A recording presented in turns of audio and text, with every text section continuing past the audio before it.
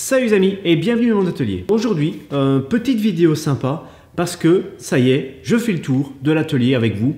La semaine passée, je vous ai demandé d'écrire dans les commentaires si vous vouliez faire le tour de l'atelier. Et comme la majorité ont dit oui, ça nous intéresse, et bien voilà. Aujourd'hui, c'est dimanche, il fait beau et je vous invite à faire le tour de l'atelier avec moi. C'est parti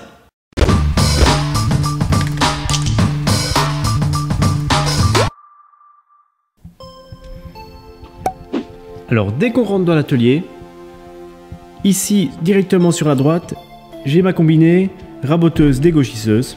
C'est une combinée de la marque Nickman et qui va euh, plutôt bien. On s'est raboté jusqu'à 410 mm de largeur. C'est déjà quelque chose de pas mal. Hein. Alors comme vous le voyez sur le mur ici, l'électricité, eh ben c'est pas conforme. On peut le voir.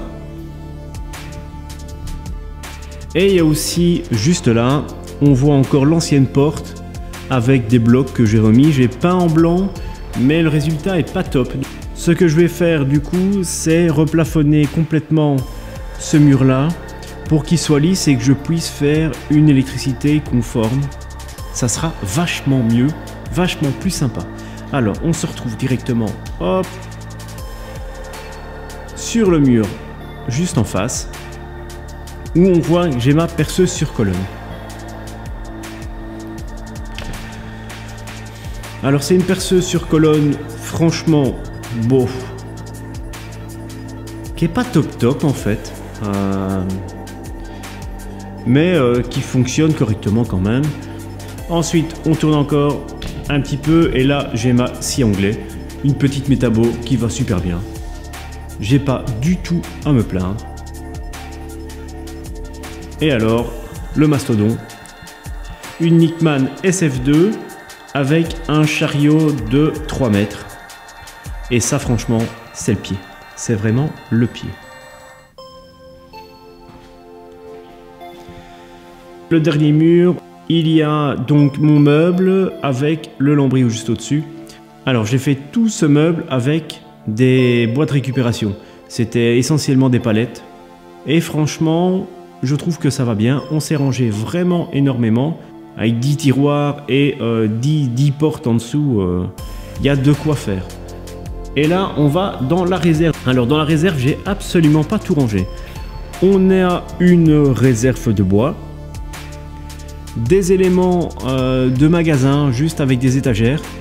Et là, franchement, c'est aussi de la récupération. Il jetait ça dans un magasin et donc euh, on en a profité, mon frère et moi, pour récupérer. Ce qui fait quand même pas mal d'éléments. Hein. J'ai mon aspiration qui est juste là, que je dois encore placer.